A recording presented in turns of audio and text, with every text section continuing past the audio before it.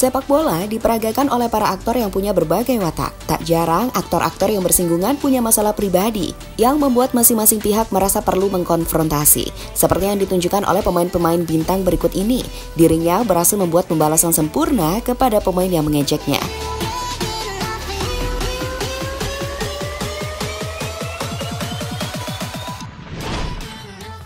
Bruno Fernandes Kiper milik Aston Villa sekaligus timnas Argentina ini benar-benar kena karma dari Bruno Fernandes. Bagaimana tidak? Saat pertemuan pertamanya, dirinya terlihat mengejek Bruno ketika gagal mencetak penalti ke gawangnya. Namun pada pertemuan kedua, Bruno yang melesatkan tembakan dari luar kotak penalti gagal ditangkap sempurna oleh Emiliano Martinez. Dan itu merupakan sebuah pembalasan yang sempurna.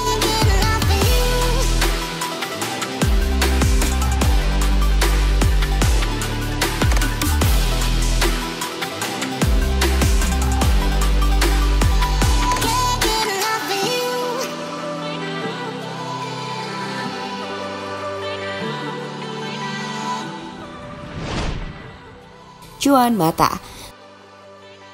Sebelum bergabung dengan Manchester United, Mata merupakan salah satu pemain andalan The Blue Chelsea.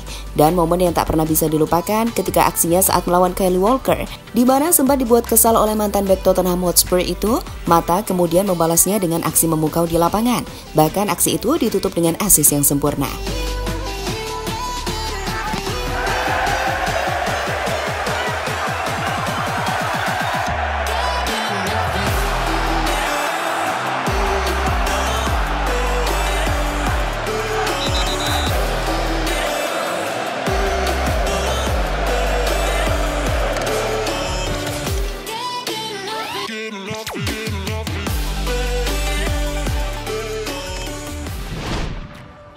Erling Braut Holland. Striker house goal milik Borussia Dortmund satu ini juga pernah melakukan pembalasan sempurna saat melawan kiper sombong milik Sevilla, Yassine Bono. Di mana saat satu lawan satu, sepakan Holland sempat ditepis oleh kiper lawan. Namun penalti itu harus diulang oleh wasit dan lihat saja, Holland langsung membalasnya dengan tembakan sempurna, serta berselebrasi tepat di depan muka kiper milik Sevilla tersebut.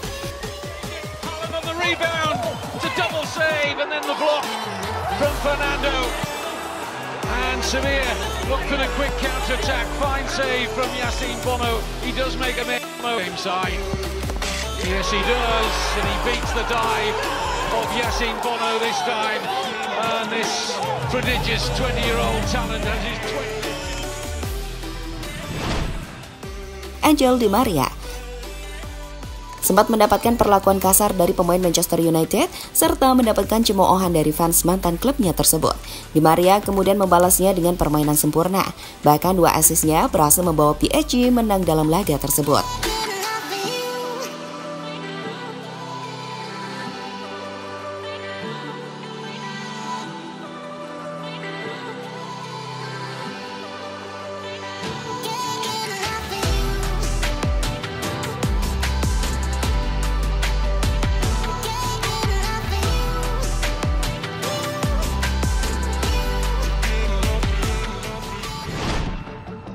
Marcelo. Mendapatkan tackle brutal dari Christian Pulisic dari belakang membuat back berambut ikal ini sangat kesal. Dan lihatlah apa yang dilakukan selanjutnya. Ia membalasnya dengan hal yang sama dilakukan Pulisic kepadanya. It's not good.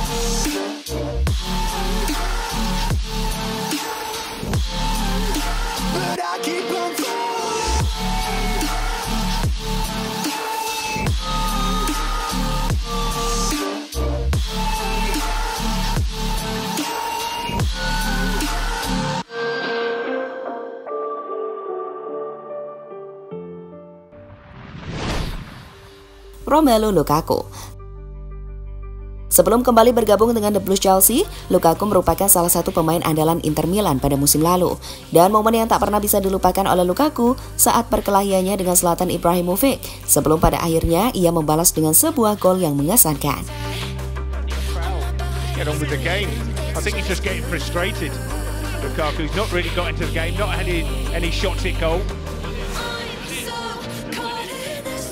You know, you, have got to be physical with Lukaku if you're a centre-back. Mignoli going in there, pushing him over.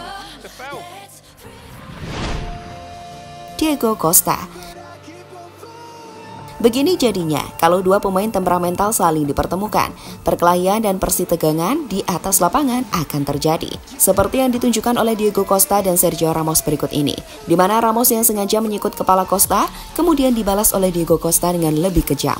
Lihatlah aksinya berikut ini.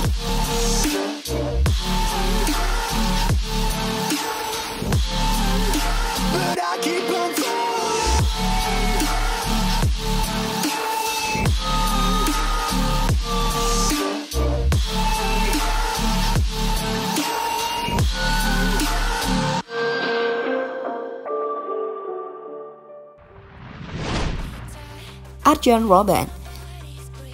Sempat gagal dalam mengeksekusi penalti, membuat Arjen Robben menjadi ejekan pemain Borussia Dortmund. Namun, lihatlah apa yang dilakukan Robben selanjutnya. Ia menunjukkan aksi individu yang luar biasa, yang kemudian diselesaikan menjadi gol, serta menjadi gol penentu kemenangan Bayern Munchen dalam laga tersebut.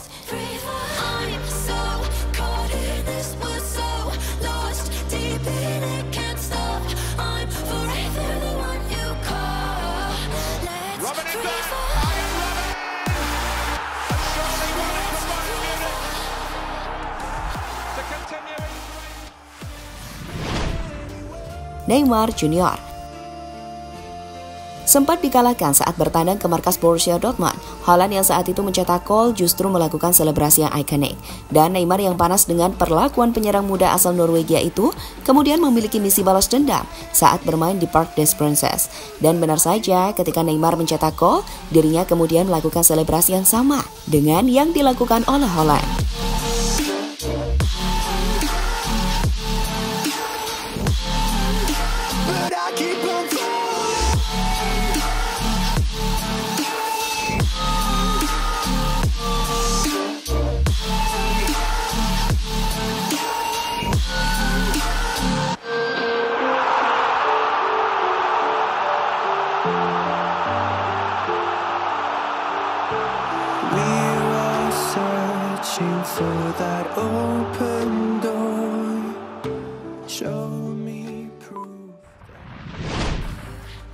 Florenzi.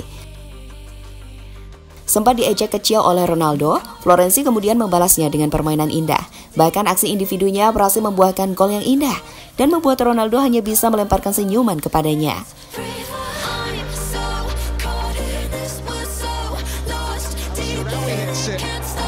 Not too far away. A touch on it, the goalkeeper. He's trying to wrap his foot round it. There's the touch from Chesney.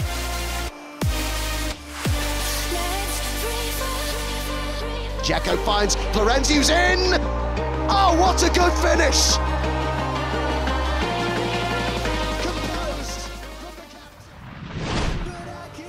Cristiano Ronaldo Dikalahkan pada leg pertama dengan skor 2-0, membuat Simeone sangat gembira malam itu. Namun lihatlah apa yang dilakukan Ronaldo selanjutnya. Semangat pantang menyerah ditunjukkan oleh mantan pemain Real Madrid itu. Dirinya berhasil mencetak hat-trick sekaligus memimpin comeback atas Atletico Madrid.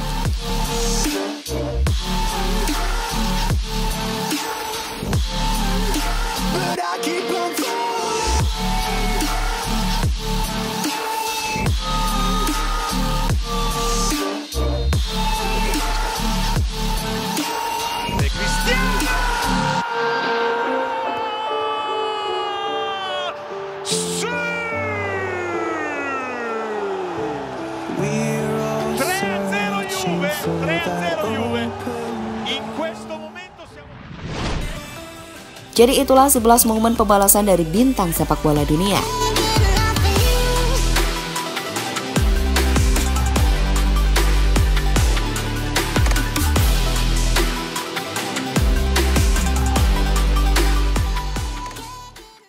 Beli jersey sepak bola tapi takut kualitasnya kurang bagus? Gampang, karena sekarang kamu bisa dapetin jersey dari berbagai tim favorit kamu dengan kualitas yang dijamin oke. Okay di toko iMoney. Kunjungi toko online iMoney. Linknya kami cantumkan di deskripsi.